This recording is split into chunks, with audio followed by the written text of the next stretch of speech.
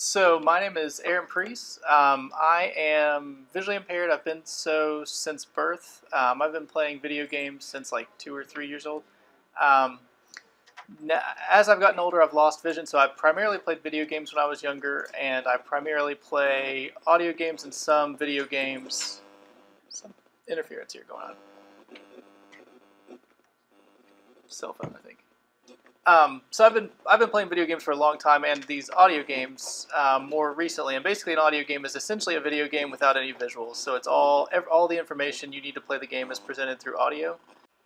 What I want to demonstrate today is so there are many audio games available in different genres, and they essentially are the equivalent of a video game. But like I said, it's all in audio. Um, so oftentimes these are made by like a single person they come up with an idea of how would if how would I render what would normally be rendered in graphics in audio, and they they come up with something really clever, and then it's you know they release it to the audio games community and, and people play it, but it's not really ever. Dis, uh, the information is not disseminated out into the public of how you would make these kinds of games accessible for like a mainstream game. It's all just kind of kept in the community because one it's just one one person teams most of the time. So what I wanted to do is demonstrate several of these games, and today I wanted to focus on um, first-person games or like 3D audio games. In the in the past, I've focused mainly on 2D games, um, so I wanted to focus on like a first-person perspective today. So I've got three games, uh, three first-person games to show you, um, and I've, what I've done is I've since 90% of the time when you play an audio game, you really need to play with headphones. Um, to get the full experience because if something's off to my left, it's often my left speaker Oops, headphones out. And if it's in the right, it's in the right speaker. So I, headphones really help with uh, audio positioning. So what I've done is I've recorded myself um, playing many of these games. I don't know what's going on with the speaker. Okay, some I don't know what's fixing that, but okay. So I've recorded myself playing some of these games, and I do have them here on the computer too. Um, but so what I can do is when I'm I'll pause and re pause and stop the, the recording since it'll be all kinds of noise and loudness. So I, I, want to be able to pause it to explain to you what's happening in the game and why, why, why these sounds are playing and what they're indicating. Um, first, so just in general, as a visually impaired person, um, just to access a computer, any kind of like digital technology, I use something called a screen reader. So when you hear this, um, that is my screen reader talking, and, and, the I changed the voice on the um, the videos themselves, so it's a lot easier to understand. Um, but this, anything I want on the computer screen can be read out to me, and I just navigate with the keyboard, and I can also simulate mouse movement with the uh, with the keyboard if I need to. Um, so any any and this is on compute any kind of computer any kind of digital technology nowadays will have this built in. So um, even uh, Mac and Windows computers, uh, Linux computers all have it built in. Um, Android and I, I, iOS smartphones have a built-in screen reader as well. Um, app, any kind of like streaming media devices, so your NVIDIA Shields and Apple TVs and Fire Sticks and things like that, they all have a screen reader built in nowadays. Um, and then again, it's just going to anything I either basically whatever's highlighted is what's going to be read, and then if I want to, I can gain information about other parts of the screen. Um, so the first game I want to show you is called Swamp, and it is a um, zombie survival MMO first-person shooter. Um, so you've got it's online only essentially. Um, you've got stats that you can raise, and but it's mainly an FPS where you're just running around killing zombies. Um, so and it does a lot of interesting things with audio in one and just the way it presents the information to you and the, the, navigation options and things like that. But also it let it allows you to customize your sound. So like in my game, I have you you can lower or raise any volume you want in the game for any sound in the game. So I've lowered all the uh, like the weapon sounds in mine, so I can actually hear the the bullets hitting and things like that. Um, so I will open this up. And then you see um, this will not have graphics. There'll be um, like a logo. And then there actually is graphics with this, but they are rudimentary, um, and they're really some people with low vision use them. I've I've, I've recorded it, so if people want to see it, they can um, how it works with with graphics. But it, it almost to me when I when I play it like that, it um, confuses me because mentally I'm picturing it in a first person perspective, but the graphics themselves are a 2D. It's like an overview of the map essentially. Um, so they're from a top down perspective, which kind of throws me off a little bit. But I've, I've got that recording too if you want to see that. Okay, so I will launch. This. Checked. So this is the South. South. Okay, so right, so it was saying south. Um, so the that means that I just turn south essentially. Um, I can so I, I can move with my mouse um, in like just turning general just generic turning with the mouse, but also and this is something I don't know that you see this in mainstream games necessarily, but uh, in most first person games for people that are visually impaired, you will have the option to be able to snap to compass directions.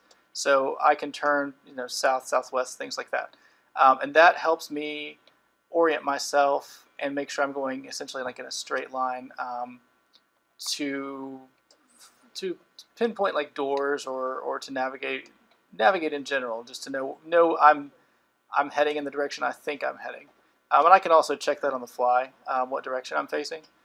Um, so I'm going to hit play. So you'll hear me running, and then you'll hear zombies running, and the, the footsteps are the same. Um, mine are a lot faster. Um, and I, that's another thing. Like I, inside the game, I changed the zombies' footsteps to be a little louder, and I changed my footsteps to be a little quieter, so they wouldn't. I wouldn't accidentally run into one without realizing because the footsteps are the same. So here we go. SW. West. So now we're heading Leap. west. Okay, there's a zombie. So he's walking, So he's walking towards me. so I'm shooting, So I'm at him shooting with at him with my shotgun. shotgun, and he Yeah. Something else. something else. You- You, you he, heard you heard footsteps footsteps coming coming at me, and that was, that was a zombie walking towards me. I was trying to shoot it, but Very, very very, very recently, the developer of this game has set things, so that the zombies sync across. He's running it from like one server in his house or something.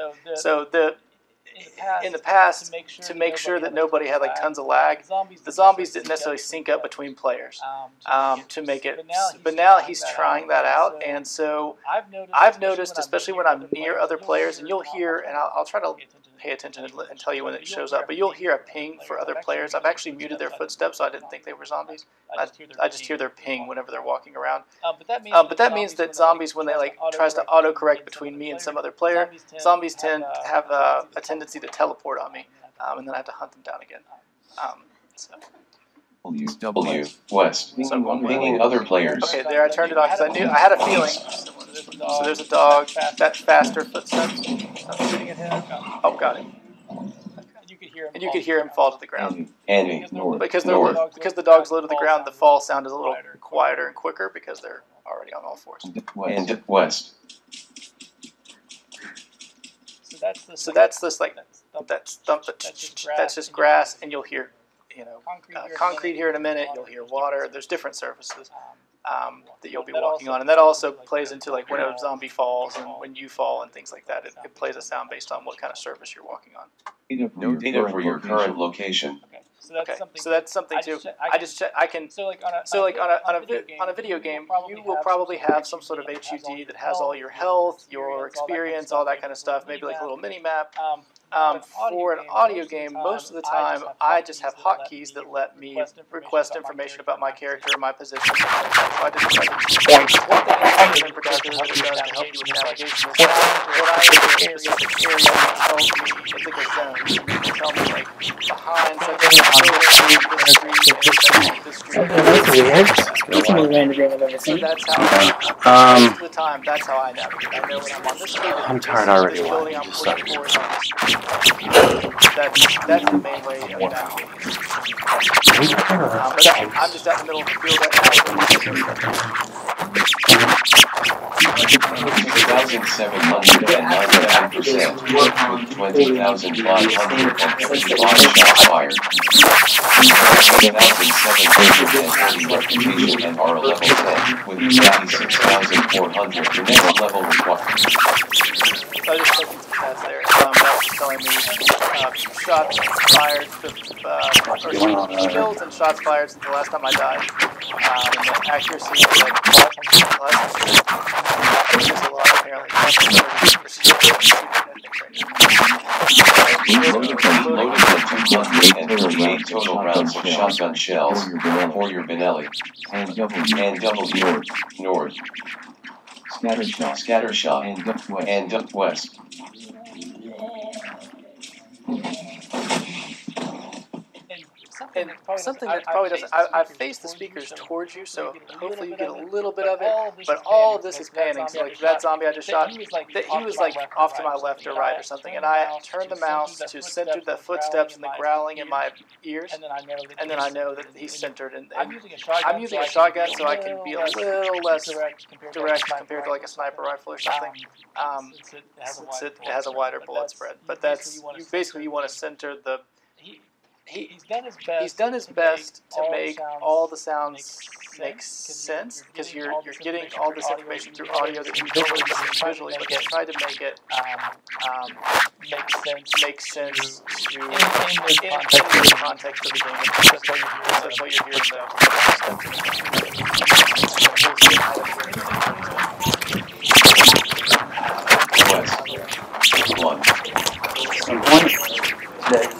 That, one to a little M40 equipped. One loaded and 57 total. So, um, but for free. Yeah, I think I'm gonna, I'm gonna go there and So, do it. I'm Like, fast the forwarding tech to one. And then after that, That'll work. I'll be, I'll probably be downstairs interviewing all the exhibitors like I did last year and stuff. Okay. Jackson Street. has double West. And W West. SW. fly, do you either flies and have it. That's the idea. Like that's the that's you is is sound like What it looks like down there. so I will You need to, you that room.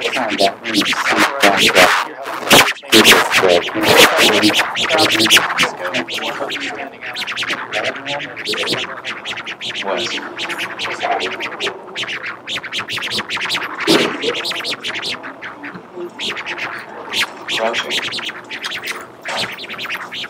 there is a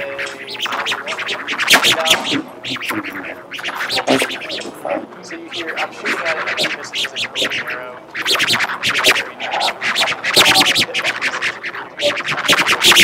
But the, the sound of the item is down because I'm down using my so I capture that item. But also, if I was setting around stuff, means the zombie would Make sure nothing's closer to the. So I'm gonna show you.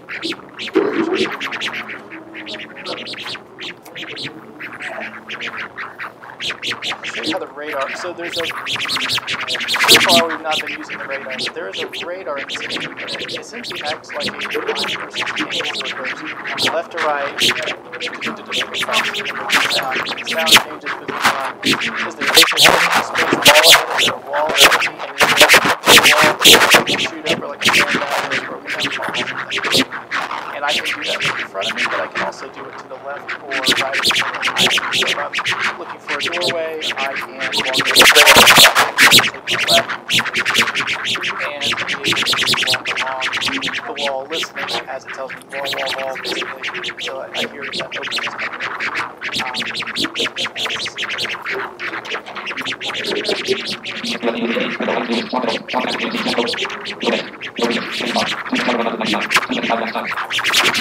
where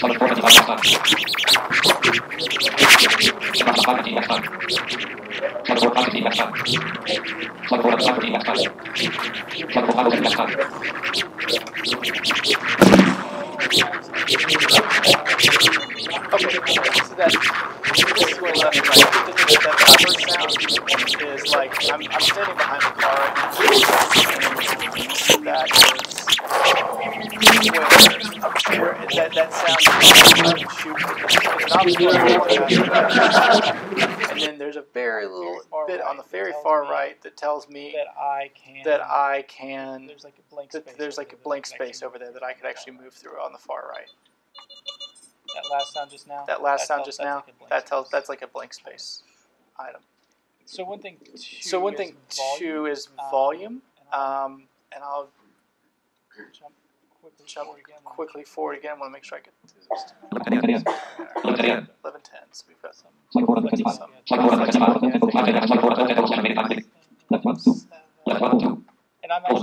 and I'm actually using mouse. Like, to tell the time in VLC, I'm actually using mouse navigation. Like I'm simulating like I'm scrolling the mouse around to find this.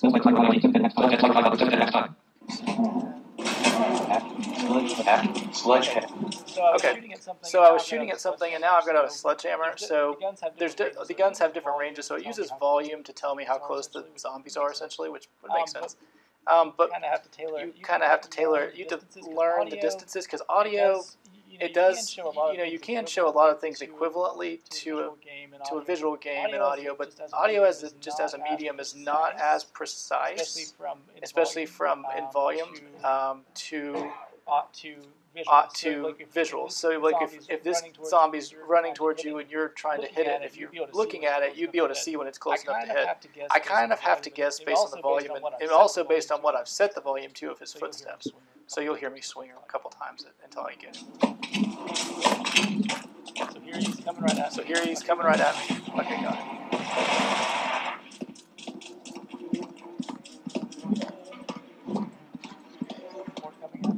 more coming at me. They closer. Getting closer. They they know when you get a, a melee weapon out, they run you. If you're if you're using guns or whatever, they char- they'll try to get up close to you. But as soon as you pull up the melee weapon, they start circling you. They don't want to get and you're you're waiting for it to come at you, and then they just they start circling around you because they know that if they hit range, they'll hit you. They'll, you'll get them.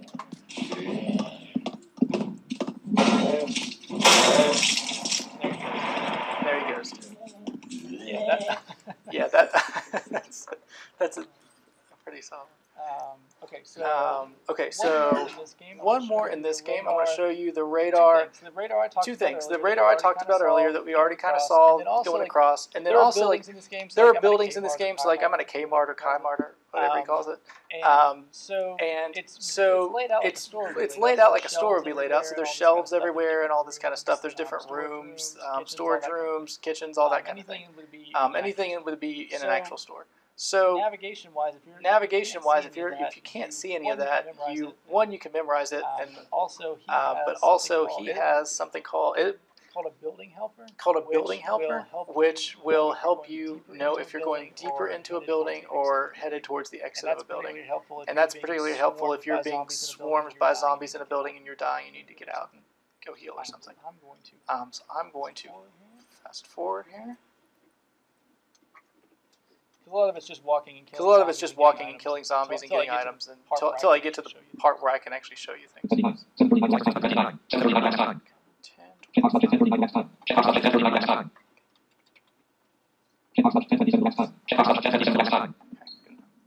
Okay. Okay. Something else. You hear a high pitched beeping right now. That's actually a beacon. So that's actually a beacon. So I can set a beacon on any building in this map. Um, and it will tell me the distance to it and what direction. It doesn't give you like exact directions. We'll see something more complete in the next game.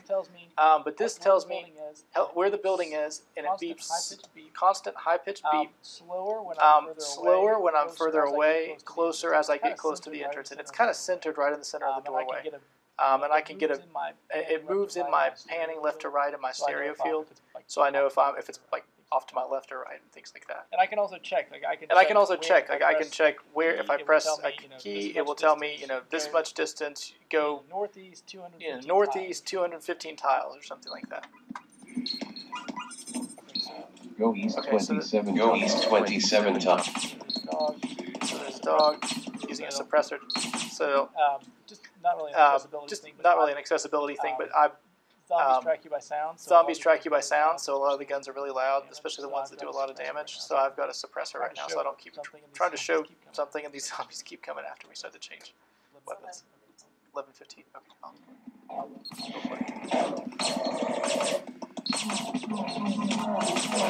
Another one of those, so they can deflect bullets. And north and north. Okay, so I, that it's, hard to tell with the uh, speaker. Uh, but that is uh, stereo. Actually, but that is actually I'm using the uh, one to my left, so I know when I um, comment like when I'm come in like when I am hear that sound right now. I hear that sound right now means there's all kinds of open space to my oh, left, oh. so I can know oh I'm in the doorway. I can turn and go into the um, building. I explained just um, I explained just um, since we're going low on time, I'm gonna switch to the next game. But the building helper basically plays one sound as you're going deeper in, as you take a foot every single time you take a step, and then plays a different sound every time you take a step towards the exit. And that it's pretty intelligent. Like if I'm walking towards the exit and I kind of go off to the side of a, if I go like to hunt down an item or something off to the side of the entrance, it'll actually pick up, oh, you're not going towards the entrance oh. anymore. Um,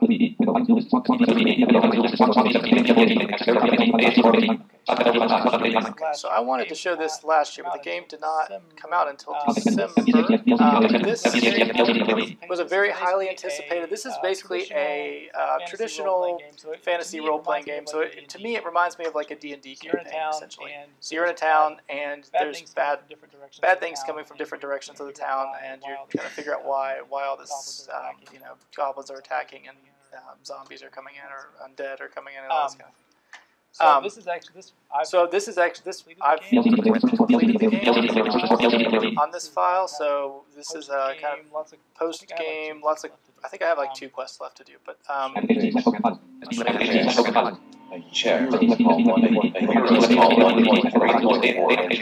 you an adventure. Entering north south. Entering north south road. Okay, so I'm. A, this is it's a turn-based role-playing game, but it, navigation is in three, three dimensions, or, or, three, three like uh, three uh, per, uh, first-person view um, so instead navigation. of doing the radar, like so instead of doing did, the radar like the other game did, this sound, has there's different sounds. The sound there's different sounds that play to your left, right, and ahead of you, depending on what is, what is in your viewer, like what has changed so right around you. Loaded, so, so right now I just loaded, so it popped like, oh, you're in a new spot. It told me there's a little beep sound, and that told us it's hard to describe these different beeps, but that, that particular beep told me there is a either something I can interact with so off to my person, left. Uh, so either a person, uh, something I could loot like a box or you something, you um, box um, or something. In this case, it's a person. Um, in that, in this um, case, it, it's a person. It, um, it but it, I can actually it tells me a sound, and I can actually I can use arrow keys to just like I can use arrow keys to just like spin around as much as I want, like turn um, general, just, manual turning. General, just manual turning. But I can snap to compass directions, and I can also snap to items. I hear something um, so off to my left, I can, I hear something off to my left, I can press a key and left or right, and it'll cycle between, basically swing my character around until he's facing a particular item or box. A particular item or box. And well, here's some. I'll try to um, explain it as it says it, but there's um, a lot of a lot of talking as I'm moving around because it's it basically this gives me more of basically whatever someone that was playing this visually would see. It's telling me in audio. So if I start, I'm going to start walking down the. I'm on the south of the city and I'm walking north. And then there's going to be a door off to my right, and I'll turn to face it, and you'll hear. So. Start walking. I'll start walking. All kinds of like up interactive. all kinds of like up interactable okay, things. okay, that just now I walked forward several steps. Forward the, several kind, steps. Of the kind of quieter beep was oh, telling me, oh, there's a wall to this direction now. There's not an open space, and there's a separate sound for um, open space. Um, so now there's like a crunching kind of. Uh, it's hard to uh, describe. Basically, this uh, uh, sound that just played. In addition to um, door sound. In addition to the door sound, like it's a it's kind of overlapped because there's an empty space so the plus a door. So the door has a very distinct sound, and I'll I'm gonna my character's gonna turn here, and you'll hear it again. Hands of north south. Hands of north south. So it just it's a very sharper, quick kind of sharper, dark, uh, deeper sound, uh, and, that tells me there's a door. And then um, just rewind for just a second. Hands of north south road two. Hands of north south road two. Tavern door four my character. So that tells me my characters my look. So my view has changed, and what's so in front of me has changed. So I'm on the road. The, the road ends. Road it tells me end of north south road is two, so that's two uh, tiles away. Uh, tavern room door four, so that's four tiles away. Um, and I can actually request that kind of information off on on we'll you're see this later, you but see you'll you see might and we'll see this later, but you'll see an item or and it'll be behind a fence or something, good to and hear you that information. it's it's good to hear that there's an item over information to know that oh there's an item over there, but you have to find another way to get to it because it's like the fence and seeing it. someone else looking over the fence and seeing it. Leaving north south. Leaving north south. Ascending pitches So those are those telling me I'm ascending about to run pitches into a wall. are telling me I'm about to run into a wall, anytime I'm getting um, and those will play anytime I'm getting really close to a wall. close to a door. But also apparently close to a Entering door. tavern. Entering tavern.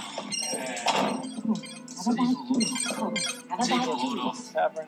so there are people in this tavern. People tend, unless they're walking, most people are going to just help chatter. Um, so that helps you. They, it also helps it'll play a sound for them, but it also helps you pinpoint people if you need to go talk to them. They just kind of say things associated with whoever they are. Susan 1. Susan one. Cooking pot three. that sound. So, that, sound, That, That sort of swing there- there's an sound, that tells me there there's an item I can Um, so steal stuff from. Is in this pot. Um, so I'm going to steal whatever's in this What will you take? Make What will potato you one take? of one. Baked potato one of one. Empty shelves two. Empty shelves Shelves two. three. There's empty shelves. Shelves three. Okay, and then I'm at, at these shelves. I'm going to take Item- whatever in on these this game in shelves. And particular, items item, in this game in particular, so items scale with your I'm character. level So 60 or I'm like something in there, level so 60 or something, and so random shelf in the normally on there'll a random shelf in the end, there's going to be like crazy enchanted um, items and stuff like crazy enchanted will you items and take? stuff like that. What will you take? of life two of two. Water of life two of two. Ring of the north Taken. blind one of one. Ring of the north blind one of one. Wait. Effortless. Wait. Value. Effortless. 100 Value. 46. 146. 40% bonus ice damage. 40% bonus ice damage. 36% of ice Resist damage. 36% of ice damage. And so I'm pressing num- will tell me uh, like numbers like will tell me different. Like basically, like I um, said earlier with the other game. like if you clicked Um, on that something that might be like if you clicked on that and it showed it up on a screen, and then there'd probably be a little description with all that data there. I can request whatever data about an item I want with a number row. Um, so I just kind of went across, looking at um, looking at the the, the, um, the stats the, um, particular. The stats of this particular. Does not restrict magic. Does not restrict magic. It's already So 11:22. it's already 11:22. I'm going to fast forward to. There's something in this called a. There's beacons in this game too, but they are. It, it actually guides you step by step to whatever the beacon is on, and They're either on your you map can get already, them- what's kinda cool they're either on your map already. And what's kind of cool is like you're if you go to to a library and you, you're about to go into the forest or whatever, and if you read a map about on the map, landmarks in the forest, it puts those on your map, and you don't have to through all the trees and you know, to find it on your navigate through all the trees and try to find it on your own and run in circles. So, Um, let's see, where's this? So let's see, where's this? So Taken. And ever. Taken. And ever 1520. General store. 1520. General Store. Drianus Manor. Northgate. Drianus Manor. Guard Sent barracks. Guard Barracks. Found in 1520. Okay. Found in North South Road 1520. 130. North South Road you hear that 2030. yelling? So, that guy's yelling when I north. turn northeast, So, south, and west, it says When I in a turn British northeast, south, accent, and west, then it says it in a whatever- British this is gonna keep accent, saying and then north, whatever. north, This is going to keep Until- saying north, north, north, north until it starts like until turning east. If I need to turn until down it starts this like east road. turning east. If I need to turn down this east road to go to the uh, the place I'm going to, um, it will it'll start kind of It will- slowly moving off it'll to my start right, kind of 'cause that slowly moving off to to my right because that direction needs to change east. pretty soon, and then it'll Still start saying north, east. it'll be out If, of if. I'm still facing north, it'll be out of my right. So I'm gonna kind of fast forward. I'm just gonna kind of fast forward a little bit North because it's just me walking. Intersection 2527. Eastgate Gate Entering 27. Road. Entering East West Road. End of East. End of East. End of East. End of East West Road 1. telling me that until I get to my. So it's going to keep telling me that until I get to my location. I want to show you a um, fight. I want to show you a fight here. Okay.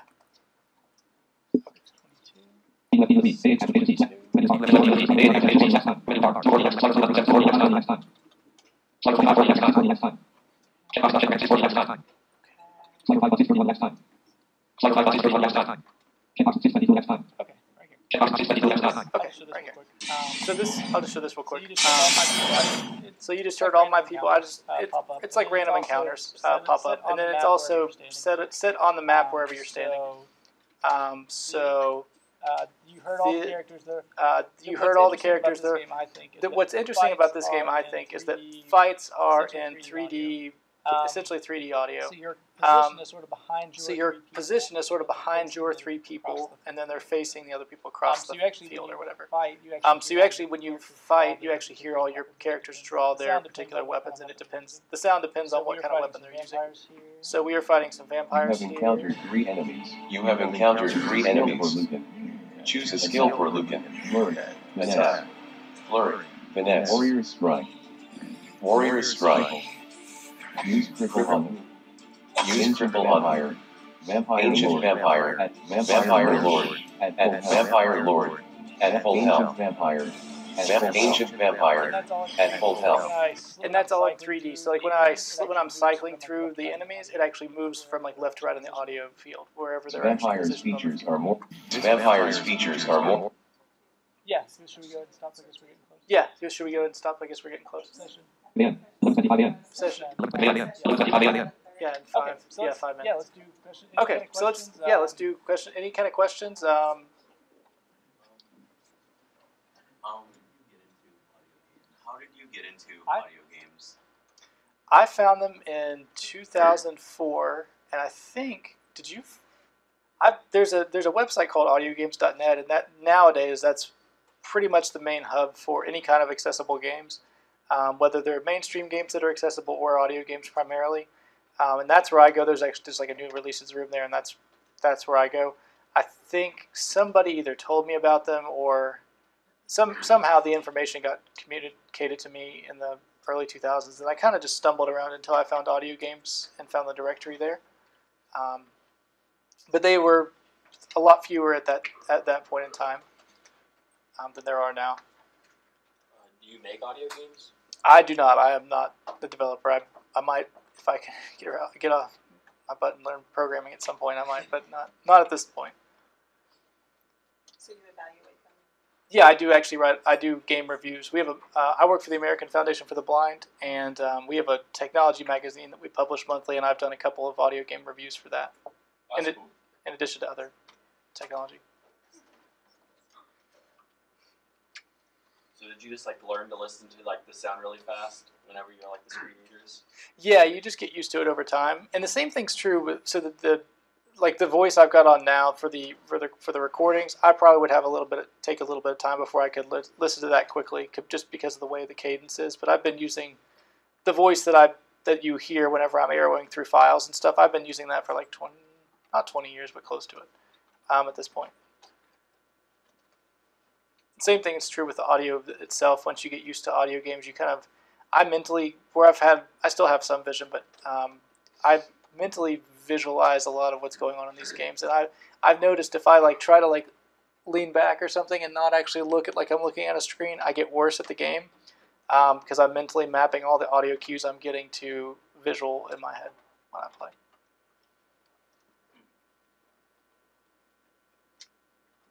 So what's your favorite game?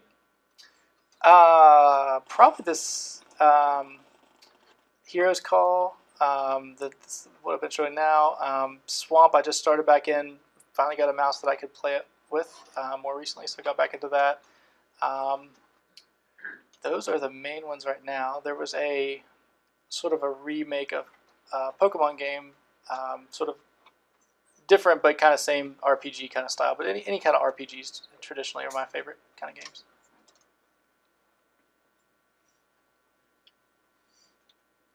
Any other questions?